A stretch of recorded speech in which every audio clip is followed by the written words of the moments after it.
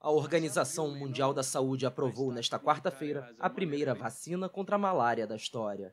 A doença transmitida por mosquitos é responsável pela morte de mais de 400 mil pessoas por ano, sobretudo crianças africanas. Esta tão esperada vacina contra a malária é um avanço para a ciência, para a saúde infantil e controle da doença. O uso dessa vacina, além das ferramentas existentes para prevenir a malária, pode salvar dezenas de milhares de vidas de jovens a cada ano.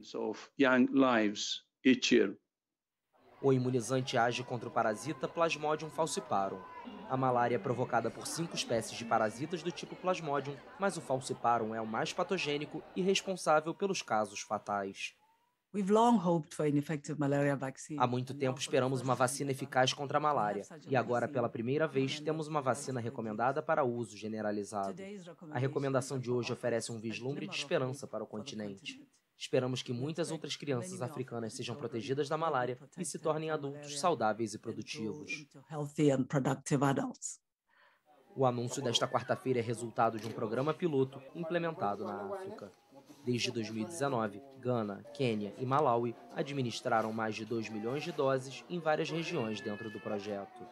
Fabricada pela gigante farmacêutica britânica GSK, esta é a primeira e única vacina até agora que demonstrou ser eficaz em reduzir significativamente o número de casos de malária, incluída a variante grave e potencialmente mortal em crianças.